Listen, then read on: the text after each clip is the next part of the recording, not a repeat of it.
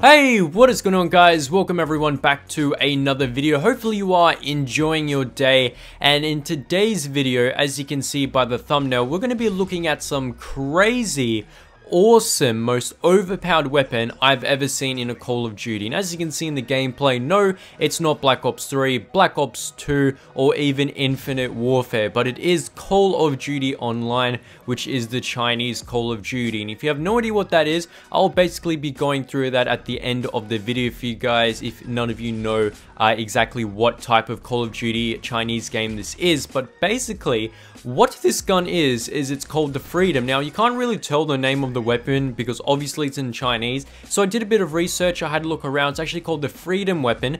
And the most I can make out of it is that you actually have to pay to get this weapon in the game. You don't have to buy supply drops or anything, you just buy the weapon. Apparently, it costs 91 US dollars. I don't actually know if it costs that. I've just seen a few people commenting it around the internet. However, I'm not sure, but that seems to be a steep price but when we go through what the weapon actually does, you may actually change your mind. So as you can see in the weapon, or what the weapon is, um, it kind of looks like a Wonder Waffle to start off with, and it's got a nice skin. It kind of looks like Iron Man's armor, but basically what this weapon does is it's a shotgun and a sniper rifle combined, and to be honest, this fixes two problems with two weapons I have in the Call of Duty series, because to start off with, you have a shotgun which is extremely good and overpowered at close range, but the problem with the shotgun shotgun is, is if that you go into medium range or long range, the shotgun becomes useless because A, you'll be getting hit markers, or B, the shotgun shells won't be long enough to actually reach your target,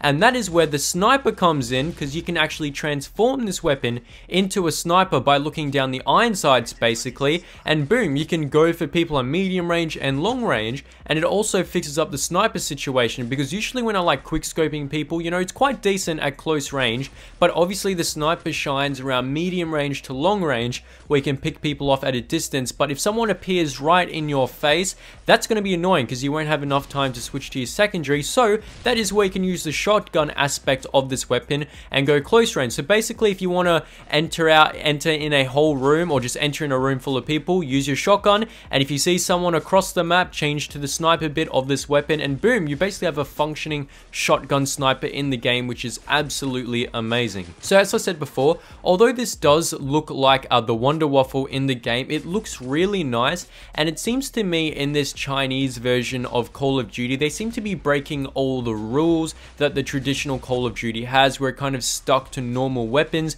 but uh, since through Black Ops 3, they're kind of broken away from that because obviously they have the Fury Song Sword and X Shadow Claw, though you have a bunch of random weapons they added in this year, which is kind of cool, but also a bit strange because obviously we have to pay through it through supply drops. And with the steep cost of this weapon, I'm not sure if 91 US dollars is really worth it. As I said before, it could be the real cost. It probably isn't. I'm not too sure, but I'll basically have to research for you guys that. Uh, but if you know the cost, be sure to let me know in the comment section down below. So getting to it, what is Call of Duty Online in case you guys don't know? Basically in China they banned consoles from people. I guess they did that because a lot of people were getting addicted to it and a lot of people have uh, PCs or more or less good gaming computers in China to get around the console so they, they play games uh, on the PCs and what Call of Duty or Activision did was release a Call of Duty specifically for the Chinese market uh, because they don't have any consoles and because it's uh, tailored to the Chinese market